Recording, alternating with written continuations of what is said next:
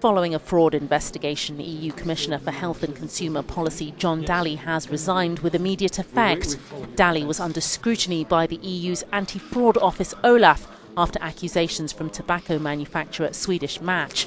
The company claimed that an entrepreneur from Malta tried to use his contact with Mr. Dalli, who's also Maltese, to gain financial advantages in return for trying to influence future legislation on tobacco products.